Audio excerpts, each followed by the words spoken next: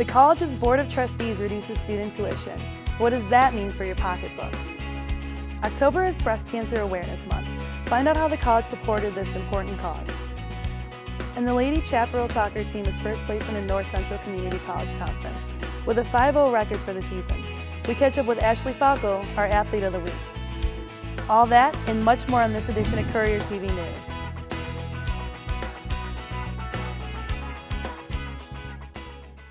Hi, and thanks for joining us. I am Stefanie Cervantes. Tuition costs to be lowered. The 2016 budget approved and the tax levy is reduced by 5%. We get you caught up on what's happening at the Board of Trustees meeting. At Monday's special meeting, trustees approved a proposal to lower tuition to 135 per credit hour for spring 2016. We know that education transforms lives. It touches each one of us and changes what we do and how we look at things.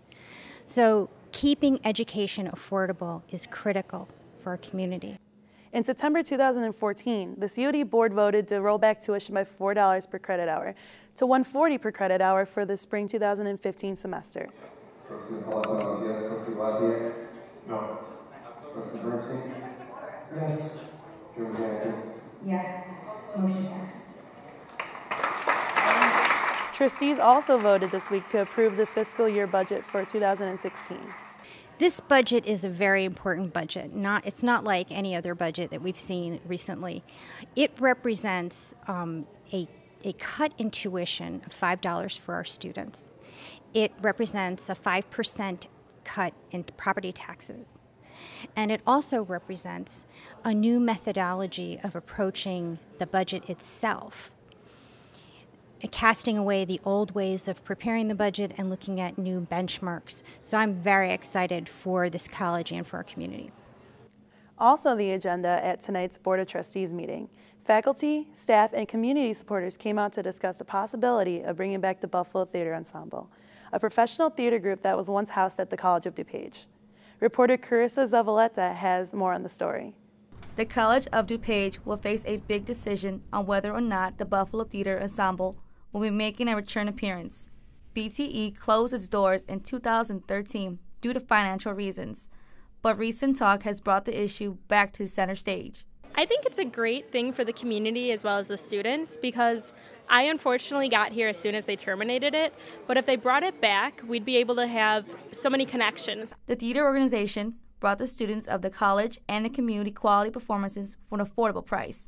Um, the community, you know, I mean, I feel that they're at a loss by not having a theater group here in Glen Ellyn slash DuPage County that they can go to that's cost effective and local. Um, you know, and the shows are consistently great. The issue was brought into the spotlight through a Facebook page started by a couple of passionate fans of the theater group who thought the college lost a very important resource for the students and the community. They decided something needed to be done. And it just started off as a little small Facebook group with us uh, uh, theater students.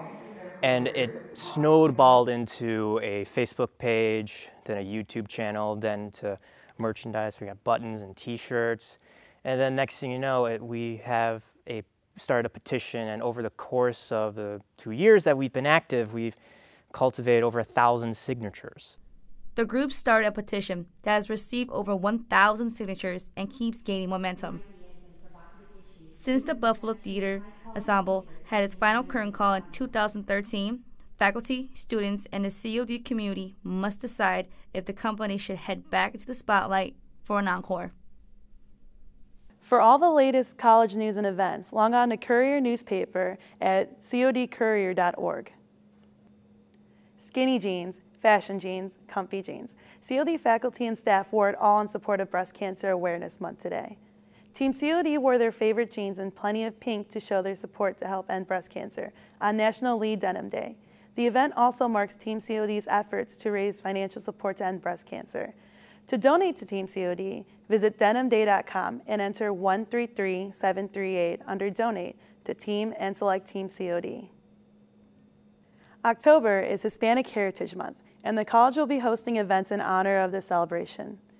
Student Life, in partnership with the Latino Outreach Center and the Center for Student Diversity and Inclusion, are hosting special programming as part of Hispanic Heritage Month. Poet, MC, actor, playwright, artist, and community organizer Michael Reyes will perform from 11 a.m. to noon on Monday, October 5th in the Student Services Center atrium. Reyes is a leading voice in progressive and radical music, combining cultural stories of resistance and raw hip hop in inspiring poems. His work challenges and confronts the many social ills faced by communities of color. And on Thursday, October 8th, a panel discussion on immigration reform will take place from 1 to 2.30 in the Student Services Center, room 3245. The panel will discuss the current immigration crisis and debate reform measures, delving into why immigration has divided America. All events are free and open to the public. For more information, please call the Office of Student Life at 630-942-2243.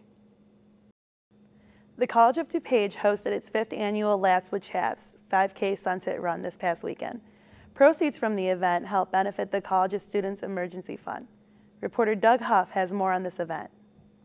Excitement and school spirit filled the air last Saturday as students, faculty, friends, and community members converged on the COD campus to support the annual 5K Laps with the Chaps run. This is a fundraiser for the Student Emergency Fund, and that fund actually is for students who are at risk of dropping out because of unanticipated financial strain. Runners and participants fueled up on cuisine from local vendors with a portion of the proceeds benefiting the Student Emergency Funds. To raise awareness and raise money for leukemia research, and 10% of the proceeds today are going towards the Student Emergency Fund. While parents ran the race, the kids kept busy at the Kids Club, shooting bozo buckets, enjoying the bounce house, face painting, and much more. 700 runners gathered on the turf to kickstart the race at 4.30 p.m. The countdown began and we were on the front lines to watch it unfold.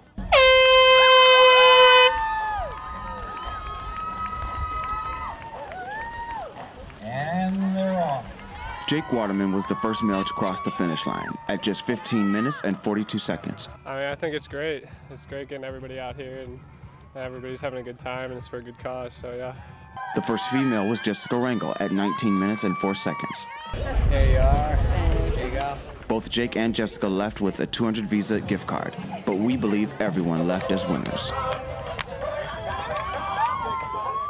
On Friday, there will be an open house for the new Homeland Security Training Center from 10 a.m. to 11:30 a.m. The new Security Center expands first responder instruction with advanced firearms training, interactive shoot don't shoot simulations, and weapons cleaning and repairing. Included in this building is a 50-foot, 24-position indoor firing range that provides first responders a unique facility for training purposes. This event is free and open to the public to attend. Conception 2015 Gaming Convention is this weekend at the Student Resource Center here at COD. The convention will be held from October 2nd to the 4th, and tickets are $5 per day with a student ID. The convention will feature top-of-the-line games from large-spanning role-playing games to small-scale tabletop adventures. This convention has everything any gamer of any level would appreciate and not want to miss. For more information, visit the Sci-Fi Fantasy Gaming Club website at www.codsci-fi-club.wordpress.com. For some, soccer is just another sport, but for Ashly Falco, soccer is what inspires her. CNTV sports reporter Rob Nardini talks to Ashly about what drives her on and off the soccer field.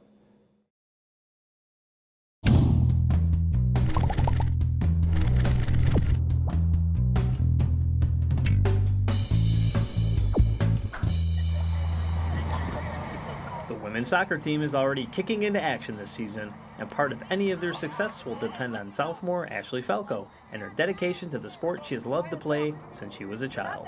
When I was four years old, me and my little sister, we started playing soccer, and uh, my dad promised us that as soon as we got old enough to play, that he would coach us. As a midfielder, Ashly helps to hold her team's offense and defense together to help them reach their goal. Well, this season, I mean, we have the same goal in mind as last season, and that's to eventually make it to nationals by the end.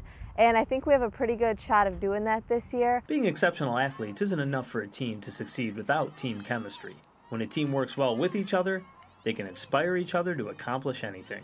And Ashly's been able to uh, explain to the freshmen, you know, what's expected of them, and, and kind of shown that on the field. Who inspires Ashly to be the soccer player she is?